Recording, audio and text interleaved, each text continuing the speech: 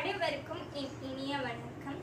என் பெயர் தாரி அர்ஷினி. நான் தேசிய வகை கோத்தாபுரம் தமிழ் பள்ளியில் பயில்கிறேன். நான் ஆறாம் ஆண்டு சேர்ந்தவர். இன்று நான் கவிதை படித்துள்ளேன். கவிதையின் தலைப்பு தாய்மொழி.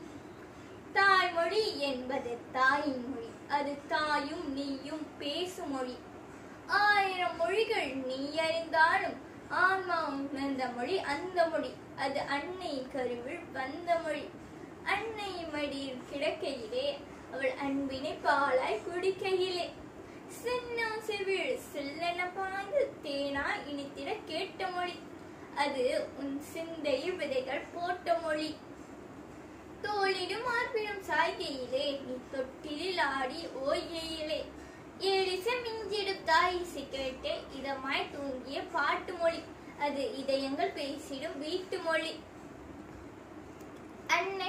அன்னை அழுகையிலே அவள் அணைத்தவுடன் நீ சிரிக்கையிலே தன்னிலை மறந்து தாய் மனம் பொங்கி தவிப்புடன் உன்னை கொஞ்சு மொழி. அது தரணியில் எதையும் மிஞ்சு மொழி. தொல்லைகள் அறியா பருவத்திலே நீ துரு துரு ஓடிய உருவத்திலே. பல்லுமில்லாமல் சொல்லுமில்லாமல் பல கதை சொல்லி மயக்கும் மொழி. அது பயிலமும் பேசிய இயற்கை மொழி.